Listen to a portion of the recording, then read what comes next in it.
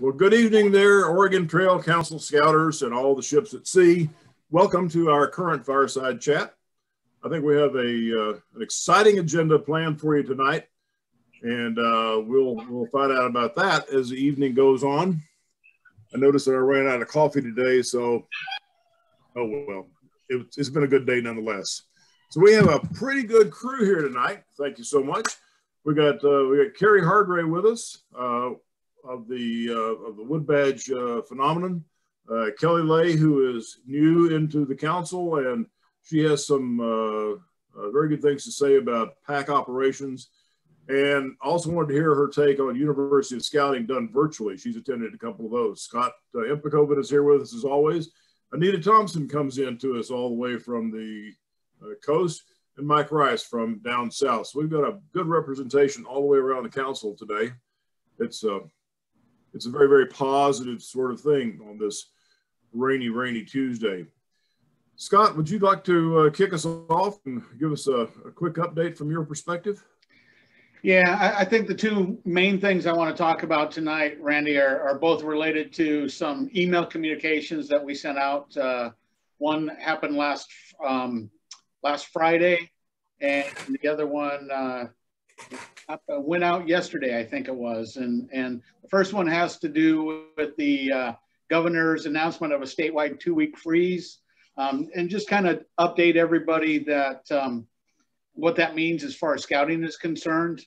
Um, you know, our our our thoughts are that for the most part, we need to, you know, our units need to make those decisions, but uh, we feel at least until December 2nd, when the freeze is supposedly over that um, that it might be best to, to meet virtually. Um, and um, what does that mean as far as scouting and Oregon Trail Council? Well, a couple of things that, that are happening. We are, we are closing down, at least for those two weeks, our, camp, our camp properties and um, businesses are supposed to close to the public. So our office will be closed starting tomorrow through December 2nd. Um, but that uh, our staff will still be here and we encourage anybody that has any scouting business, any scouting needs to contact us either by phone, email, however, uh, you know, however works best for them, text us, whatever, and let us know their needs and we can still help them out. So more than happy to do that. Um, as I said, camp properties just will not, uh, be used until at least December 2nd. Then we'll see how things go and if that extends on beyond uh, the December 2nd uh, date. So that's kind of an update um, on what's happening with COVID and how it affects scouting in, in our council.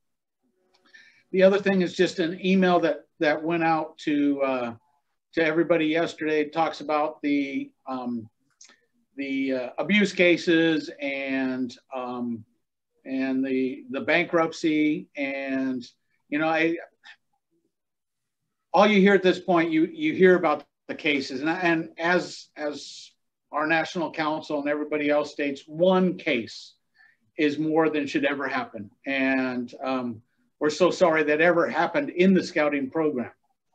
But it's it's been amazing to me. I sent out an email yesterday um, just talking about the abuse cases and the bankruptcy. And I've, I've been amazed at the number of emails that I've gotten just talking about the positive experiences that people have had. Um, you know, one guy got an email today from somebody that said, you know, I started when I was seven years old.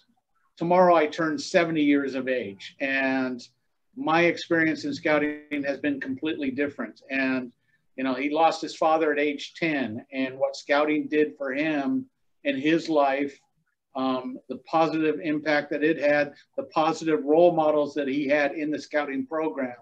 Um, you know, a lot of times the public hears the bad things. They don't necessarily hear the good things that happens within the scouting program.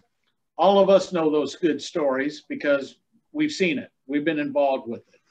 Um, and I would just encourage everybody as they continue here to, to hear the news to just remember what we know about scouting. Um, we know that we've taken huge steps to uh, make sure that those things don't happen um, anymore. Uh, most of those cases are, you know, from the 60s, 70s, and 80s, and even earlier than that. Um, and, and the Boy Scouts of America made huge strides to make sure that scouting was a safe environment and continue to do so. Um, and so just as we continue to hear the news, uh, again, I just ask you to keep in mind the positive stories that you've seen out of your scouting experience. And, and that's pretty much what I've got to cover tonight, Randy. So thank you. Hey, Scott, Scott, I appreciate it. It's, uh, it's important that we stay as informed as we can. I'd like to uh, welcome an old friend of mine, uh, Ed Singer, joined us tonight. We uh, we're pleased to uh, to see you there, Ed. Been been a been a while. Been a while. Uh, Kelly Lay is is our next one up. She's a special guest tonight. She comes to us off of the uh, off the coast, and um, new arrival to the Oregon Trail Council, but uh, already beginning to make an impact. So, Kelly, if you give us uh, give us the benefit of your wisdom, we'd be grateful. Yeah. So. Um, so yeah, I've been scouting for four years now. Um, I started when my Arrow of Light Scout was a tiger, and um, I became a den leader, and I scouted with my old council until we moved here to Oregon Trail Council last year, and um, so I I was a den leader with Coquille last year, and you know we really wanted to get a pack going here in Coos Bay, so um, we started started uh, trying in February, and um, the lot the COVID, you know, kind of put a hold on everything. But we we started up again, and so our parents and stuff we agreed to meet virtually um, and we're having um, Zoom meetings twice a month. And um, that's what our parents um, feel like the scouts and, and they, they themselves can handle. And so what I'm doing is um, I'm kind of introducing a concept. So like the first month I introduced um, Leave No Trace and the Outdoor Code, Six Essentials. And then over the next two weeks, I asked the scouts with their family units to go on a hike and to take pictures and then the next the next time we met we uh, we talked about their hikes and what they saw and um, I, I got a guest speaker to come from South Slough Reserve and he uh, showed us some animals and animal tracks that we could see while we were there so that was that was pretty cool um, so I'm just trying to make it, you know, fun for, for the scouts. Like yesterday, I started out um, just telling jokes while the scouts were gathering. Um, and then once once we uh, I, I taught them about flag etiquette and stuff after we opened and i um, beforehand i asked the parents to if they had a flag and if they didn't to just make a simple paper flag and then we practiced folding a flag. Um, and then I had pictures of when my Arrow of Light Scout was a tiger and we had um, attended a flag retirement ceremony and I went through the steps of um, retiring a flag and I found a good video online of um, a flag retirement ceremony and they seemed like that. And then um, to kind of up up the energy afterwards, after all that, um, I did like a quick like scavenger hunt and they they really liked that. I got a message afterwards from one of the parents and said that their scout really enjoyed the meeting. So that that really helps me, you know, energize me and and let me know, you know, I'm I'm doing okay job. But yeah, um, that's that's what I'm pretty much doing. I'm like introducing something and then asking them or challenging them to do something. So this month we're gonna I, I challenged them to um, find an area, either their street or a park or a beach, and um, spend some time cleaning up the area. And that'll go along with their duty to country requirements. So what do you what do you feel? What is your what is your feedback from uh, from uh, the parents and the uh, uh the scouts themselves? What's uh what's your take? Um, I feel like you know they they seem pretty energized and and um, vocal during the meetings. We're pretty small, so I pretty much just have them stay off of mute, and I tell them you know it's their it's their pack meeting. If they have anything to add or, or talk about, to go ahead and you know, they're they're pretty uh they're they're pretty into it, you know. And then, like I said, the parents they seem they seem to um, enjoy it too. I, I kind of make it like a family. They're all they're all in their each each family unit, you know, they have like their own individual family dens. yeah, there's been a lot of uh, a lot of discussion across the months about kids uh, being uh, zoomed out and uh, uh, tired of doing things virtually and, and so on. Um, but you seem to have broken the code to get uh, get the kids and the parents physically engaged with with your program. Is that is that correct? I think so. Um, I've I've really um like during the summer and stuff, I I attended like or I had my scouts attend a lot of different virtual camps, and I took a lot of tidbits and things that they did and and added it or didn't add it if if it didn't seem like my scouts were interested. Um,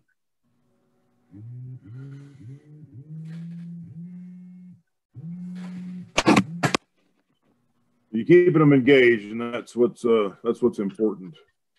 Kelly, do you think part of it is? You think part of it too is the fact that they're just so eager to see their friends, to talk to their friends that, you know, this is a, it's our format for now. You know, it's the way for us still to connect with our our friends that we scout with. You know. Yeah, especially in my school district. Um, when they have their school meetings or just meeting with their teacher, they're not seeing any of their peers. So that helps a lot that they're actually able to communicate and talk to and see see their friends that they can't can't see on a day-to-day basis now. Yeah. Cool. Well, you also had uh, experience with uh, in, uh, in, a different topic, but still virtually. You've attended a, a couple of university scouting sessions here recently and uh, you had some things to, to, tell us about that as well, things that we might be able to use in, inside the Oregon Trail Council as well. Could you share that with us for a few minutes? Yeah, so um, I did one a couple weeks ago, and it was with Cascade Pacific Council, and um, they, they did it just.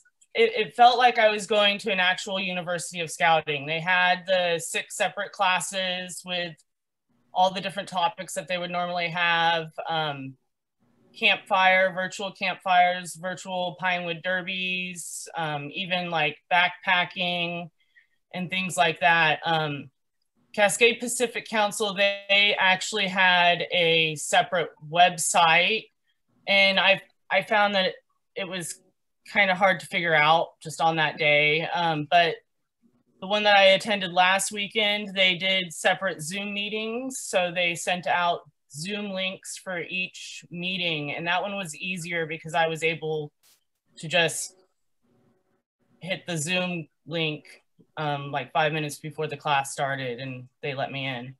So you had a you had a series of Zoom links that were all associated with the University of Scouting, is that right?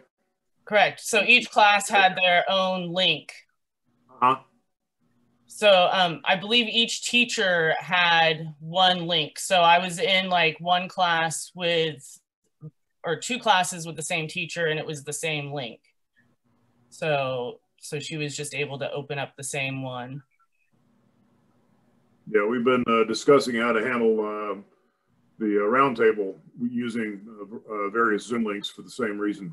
Um, I don't know that we've arrived at uh, real conclusions just yet. Very good. So you think the University of Scouting virtually format works okay? It wasn't too much talking head routine? Um, I don't think so. Um, I I took some fun ones like um, scouting songs, and so it it broke up maybe some of the some of the more drier classes like finances and things like that. um, but yeah, like um, I I I learned probably just about the same amount of stuff as I would going and and then I did see attending the one that I, was my old council I saw familiar faces and that was that was really nice too. Very good. Very good. Comments, questions from uh, from others uh, for Kelly about her experiences uh, in her pack or uh, with University Scouting?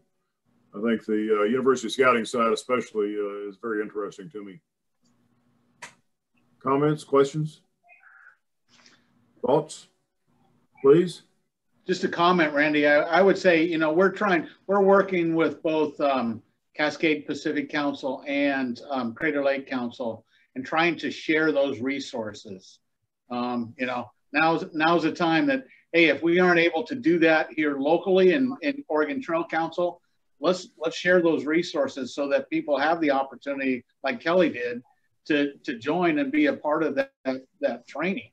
So um, you know, we, we encourage everybody to take advantage of those opportunities when they come along, and we're trying to share those as best we can. Yeah, absolutely, absolutely. Yeah, this is not a uh, this is not a dead time in scouting. We uh, we need to be in the middle of our program year and continue running running hard. Very very good.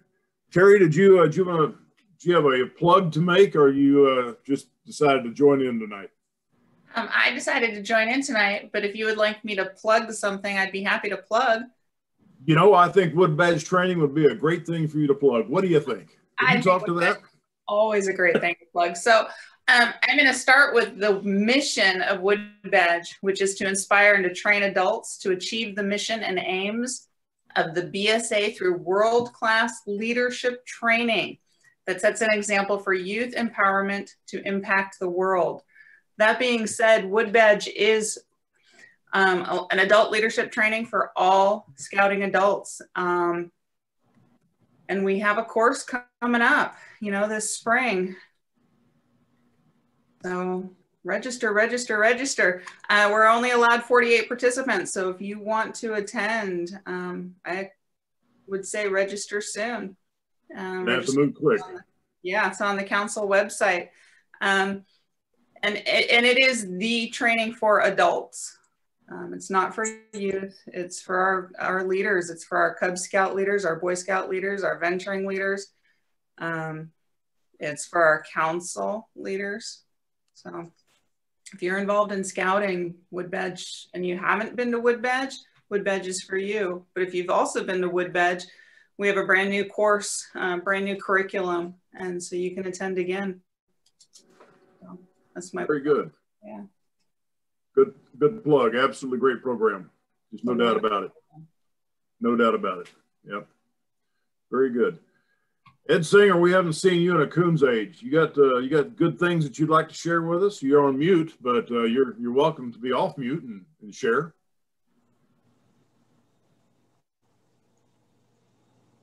Still on mute. That's going to be the watchwords for 2020. You're on mute. there, am I off mute now?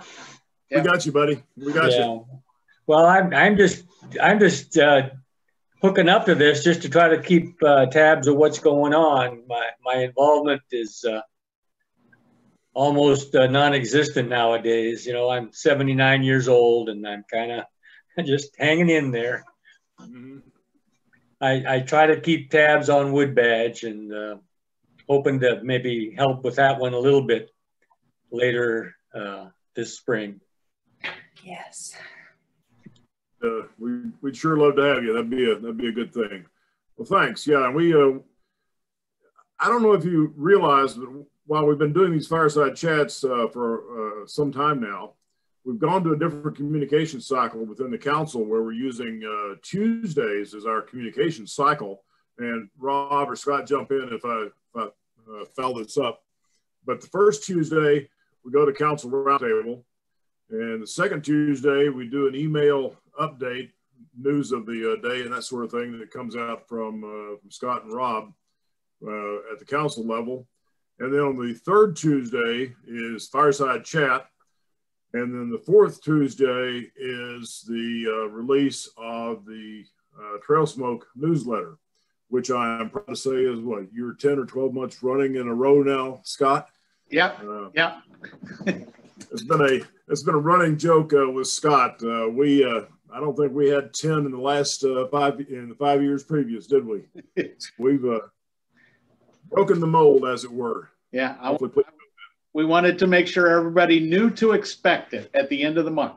So, Yep. So Tuesdays is the communication cycle, and that uh, that seems to uh, uh, work well. So we're we're down to a single fireside chat each month, and uh, we we try to make the most of it. Very good. Rush, did you have uh, have some things that you wanted to share with us tonight, or you just decided to come along with us? Well, I tried.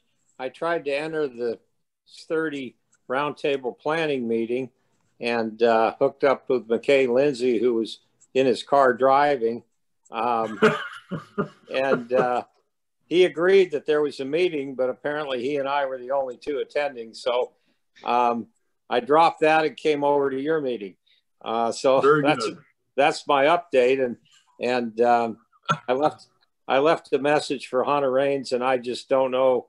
Uh, apparently, uh, this got lost in the shuffle with the transition to this uh, uh, new communications program, which is great. And uh, congratulations on setting aside Tuesdays and and the plan going forward through each month. Okay. Well, we hope the uh, roundtable uh, planning session comes together. That's been a uh, that's been a key to uh, to making all that work uh, very very well. Now I notice that Anita Thompson is trying to bail on us here. Anita, you can't bail. You got equal time. We never see or hear from you. And she she see she's hiding on us now. I can tell. I can tell. All right. Anything else for the good of the order? We're uh, we're we're still five or eight minutes away. Scott. Yeah, I would, I would mention, uh, one of the things that, uh, I neg- neglected to mention earlier is we did decide, um, um, today, actually earlier today, that, uh, just the way COVID's kind of still around and affecting our lives and, and scouting, um, that there wasn't a, we didn't feel that there was a way that we could, um, that we can have Klondike and still keep our scouts safe. So we've decided to, to uh, since we don't see a whole lot of change between now and then, we've decided to cancel Klondike. And I'm not sure that we've gotten anything out about that yet, but just wanted to let everybody know. Um, but a positive, I will mention um, that a week and a half ago on um, November 7th, that we decided we could do scouting for food in a safe fashion. And it's been almost almost two weeks now. We don't know if I mean we're relatively sure we haven't heard of any COVID cases from anybody that was involved in that process, whether it's Salvation Army, Scouts, um, or um, Delta Rotary that helped us here in Eugene.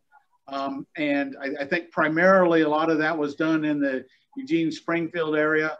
We did two and a half truckloads of food on that day just here in Lane County. And I was just, I was amazed at the response, not only from the scouts, but from the community as well. Um, that represents 4.7 um, tons of food that was collected on that day. And just very, very pleased with the response. The Salvation Army was just, I, I think they were just baffled by the response that they got. They, uh, they had to go back twice and unload some food and come back with some new barrels and some other things to, to help us get the rest of the, the food that was brought in that day. So thank you to everybody that was involved in that process. Again, we did in a safe fashion. I think any pictures that you see from that, everybody that was involved was, was masked up at the time and, you know, uh, trying to take care of the social distancing in the process and, and families went and uh, collected food together.